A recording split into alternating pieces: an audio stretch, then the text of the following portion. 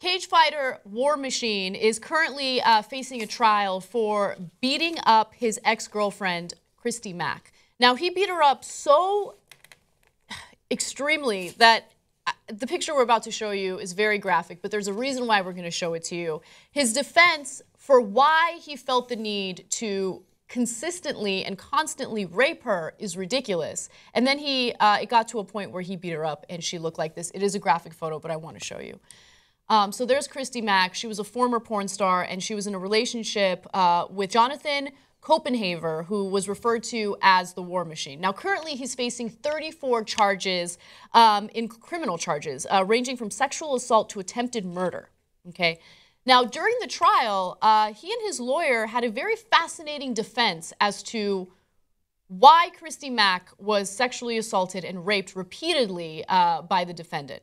In court on Monday, defense attorney Brandon uh, Sua said that Mackinday's, that's uh, Christy Mack's real last name, career in adult films constituted consent and that her job instilled in her, quote, the desire, the preference, the acceptability toward a particular form of sex activities that were outside the norm. Okay. So let, let me read to you what this guy did to Christy Mack, her injuries, and see if you think she because of her adult film critic, uh, I'm sorry, career, wanted this to happen to her.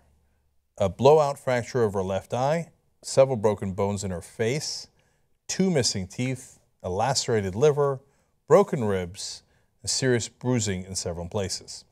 So I'm pretty sure that a career in adult films does not lead you to want to desire two missing teeth, a lacerated liver, I'm sorry, liver, and uh, several uh, broken bones in your face. I don't think that has anything to do with adult movies. So uh, this is one of the most outrageous defense claims I've heard in a long time. I mean, this goes right up there with affluenza. Uh, rich people should be allowed to get away with crimes because they don't know their consequences of their actions. Uh, this is, well, if it's an adult film star, I should be allowed to rape her and break her face uh, because she has sex outside the norm anyway it's incredible. It's incredible that this was uttered in a courtroom setting as a defense. I can't I really can't believe it, but honestly, you should be able to believe anything that comes from this guy because during the court proceedings, he apparently blew a kiss to the chief deputy district attorney, Jacqueline Bluth. He blew a kiss to her. And she had to stop what was happening and let the judge know so the judge could basically reprimand him and tell him, hey, you know what, maybe you should stop blowing kisses to uh, the women in the courtroom right now. In a okay. rape trial, you might not want to blow kisses to the prosecutor. That might be a bad idea. But there's some chance this guy doesn't understand uh, the good distinction between bad ideas and, and, and good ideas. So, uh, lastly, I'm really stuck on this that her career in adult films constituted consent.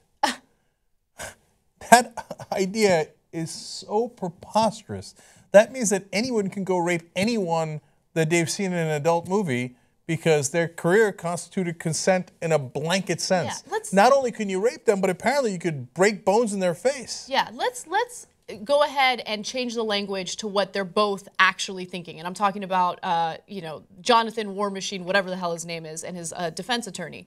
Um, what they're saying in plain language is, we think she's a whore, and since she's a whore, she deserves to get you know, have she deserves to have someone abuse her in any way that they seem fit, see fit. That's exactly what he's saying. They're saying she she had it coming. She asked for it by being a slut. That's that. This is the sophisticated pseudo intellectual uh, description of exactly that.